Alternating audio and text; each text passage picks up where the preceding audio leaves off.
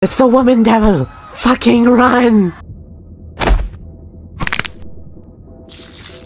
Oh, oh my, my, I'm being quite horny today, aren't I? I'm your chef today. My name is the Woman Devil. I'm here on a request from hell. Make the men around me fear me, and maybe, just maybe, meet the final boss of all you devils.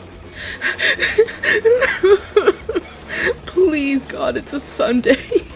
Let me survive to eat Chick fil A tomorrow. Asa, shut the fuck up!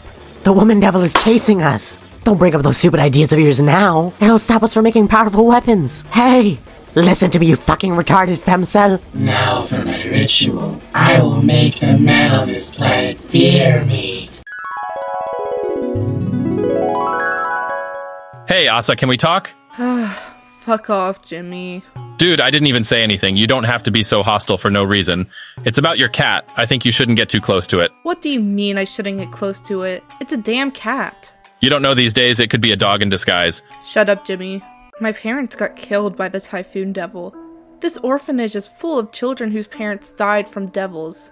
I didn't ask her care, but okay. Look, Asa, we're all a family here, and I'm Mr. Beast. I can give you money. Cranbrin. Huh? It's called Cranbrin. Asa, I don't fucking care.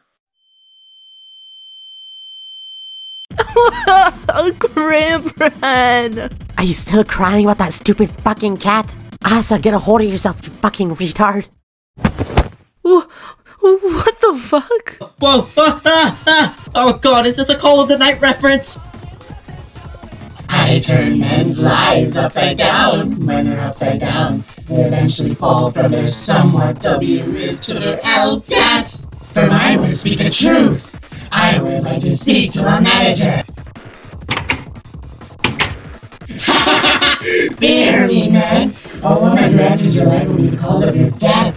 Foolish man, insignificant species, we all deserve to die. I wanna go home. Get a grip, Asa, we need to. Wait, n- no, Asa! I can't touch your body, don't be afraid! Huh? No. Don't leave me with a woman. Horrible service, horrible service. Maybe I should bring the Karen double over.